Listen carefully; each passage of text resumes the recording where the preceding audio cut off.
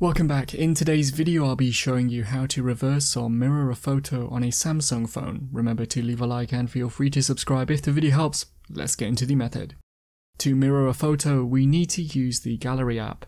This is Samsung's photo app and it should already be on your phone. Search for it on the apps page if you can't find it. Within the app, navigate to and tap on the image you want to mirror.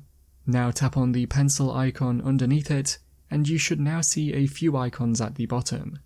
Make sure you're in the crop and rotate tab and then look for the mirror icon above this.